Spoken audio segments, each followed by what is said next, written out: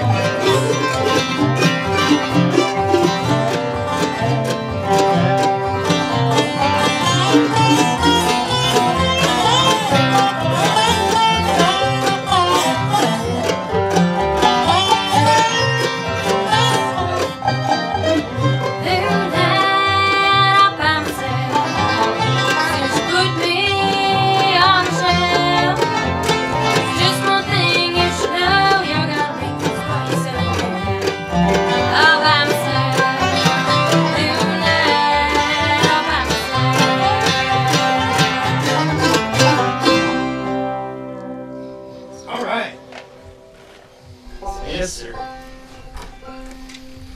Can't beat a good Bill Monroe.